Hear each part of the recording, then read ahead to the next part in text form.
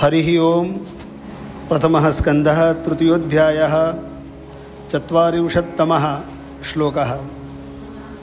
इदं भागवतं नाम पुराणं ब्रह्मसंहितम् उत्तमश्लोकचरितं, चकार भगवान ऋषि। भागवत जी का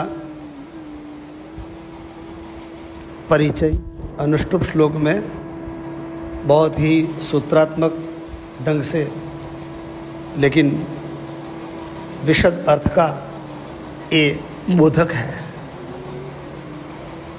सूत्रात्मक शब्दों में कह दिया इदम भागवतम ब्रह्म संहितम पुराणम अस्ति अर्थात यह भागवत ब्रह्म संहित भगवत चरित्रों से परिपूर्ण है।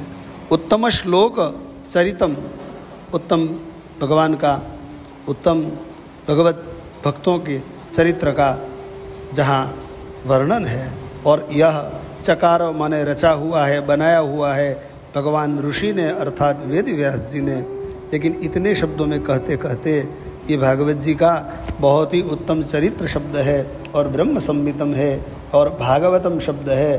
भाति यत सर्वलोकेशु गीयते नारदादि भी वरिष्ठम सर्वशास्त्रेशु त्रायते भवसागरात। भा दिखाई देता है, चमकता है। सर्व लोकों लोक में, अर्थात चतुर्दश भुवन में ये सर्वत्र व्याप्त है। दूसरा अक्षर है ग। नारदादि ही उत्तमे ही भक्ति ही सदा सर्वदा गीयते।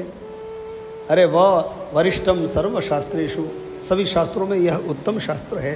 और तो त्रायते भव सागरात संसार सागर से मनुष्य जीवात्मा तैर जाता है। एक बार यदि भागवत जी वो अनन्य निष्ठा से भगवत भक्ति में आसक्त होते हुए भगवत चरित्रों का गुणगान कर लेता है तो मुक्ति उसके करतल स्थिता और उदाहरण दिया है। परीक्षित साक्षी यत श्रवणगत मुक्त्युक्ति कथने।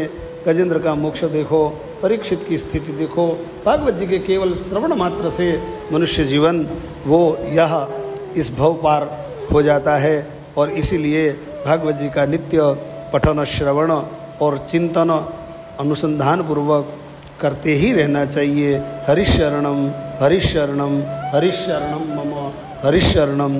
इदम भागवतन्नाम नाम पुराणं ब्रह्मसंहितम् उत्तमश्लोकचरितं चकार भगवान् ऋषिः।